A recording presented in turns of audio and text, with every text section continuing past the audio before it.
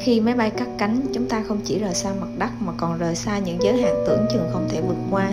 Từ hôm nay, những chặng đường bay mới và những khám phá mới cùng đón nhận những trải nghiệm thú vị và biến ước mơ trở thành hiện thực là đi du học trà sữa bên xứ Đài nha. Tụi mình tới sân bay làm thủ tục lấy hành lý và cùng cô bé trợ lý đi tàu điện ngầm đến khách sạn.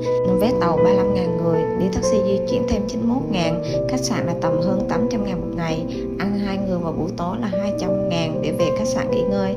Và là tụi mình đã trải qua một ngày đầy thú vị tại Đài Loan.